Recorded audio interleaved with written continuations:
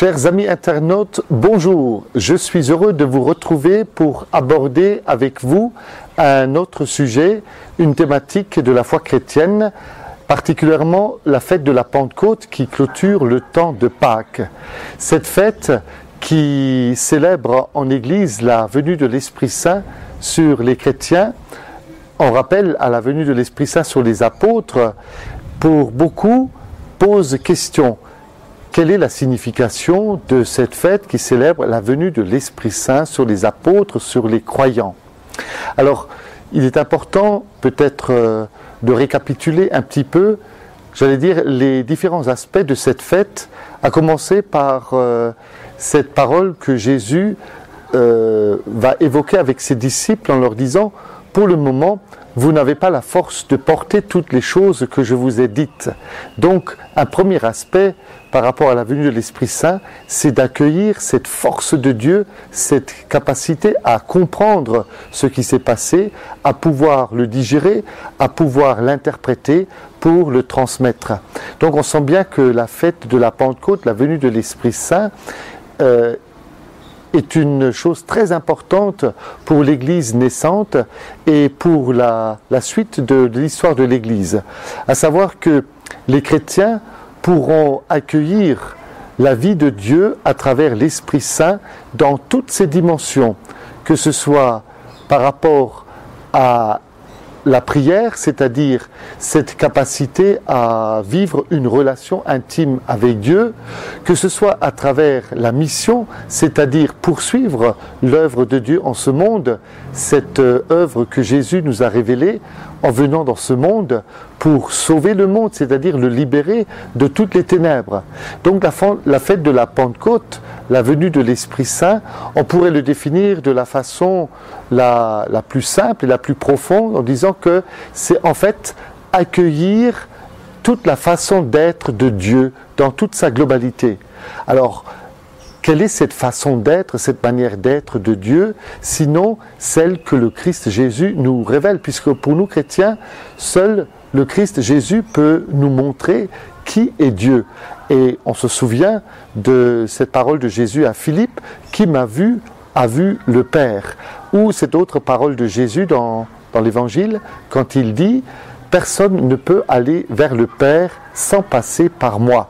Donc le Christ Jésus est ce passage obligé et on comprend aussi euh, ces événements de la mort, de la résurrection, de la montée de Jésus au ciel pour finalement se clôturer en ce temps de Pâques avec la descente de l'Esprit Saint pour donner, comme le rappelait l'apôtre Paul avec les sept dons de l'Esprit Saint, pour ne citer que le don de la sagesse, le don aussi de l'interprétation des Écritures, c'est aussi le don de la confiance et il nous faut avoir cette force d'amour pour reconnaître en Dieu celui qui se rend très proche de nous. Et ça, c'est un autre aspect de, de la foi chrétienne, c'est que Dieu, il a une façon d'être, de s'approcher de l'humanité, de se rendre proche, puisque nous croyons en un Dieu incarné. Nous ne croyons pas en un Dieu qui, qui serait une idée, qui serait simplement une chose, mais quelqu'un, une personne. Il est venu dans la personne du Christ, il s'est incarné, c'est-à-dire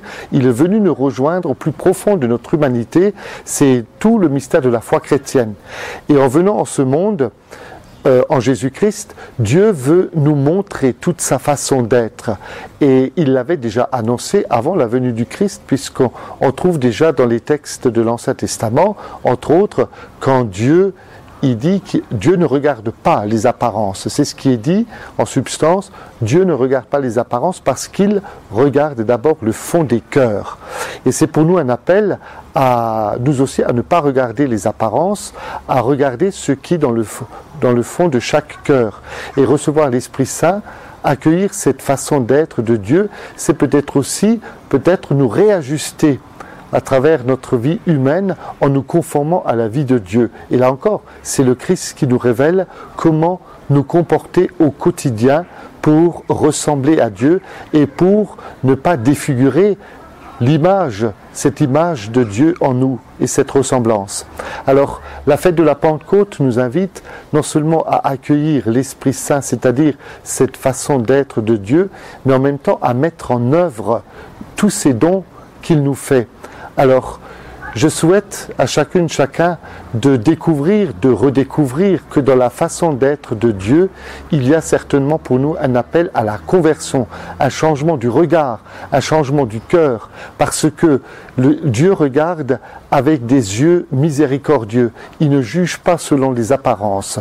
Il il est infiniment patient avec chacune, chacun d'entre nous, à nous aussi de mettre en œuvre cette faculté, cette capacité à être patient. Parce que c'est aussi à travers une patience avec les autres, pour les autres, que nous serons patients avec nous-mêmes.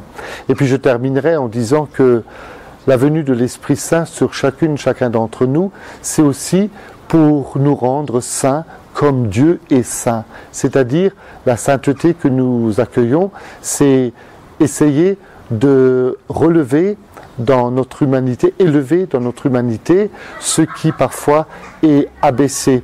Lorsque la dignité de l'homme se perd, il nous faut retrouver pleinement cette dignité de l'être humain. Et on voit combien aujourd'hui à travers le monde, la dignité de l'homme est bafouée parce que on ne considère pas l'être humain comme une créature de Dieu, comme son semblable, son égal, mais on le considère comme une chose. Alors l'Esprit Saint nous remet peut-être aussi sur le chemin d'une reconstruction totale de la dignité humaine. C'est ce que je souhaite à chacune, à chacun et à toute l'humanité.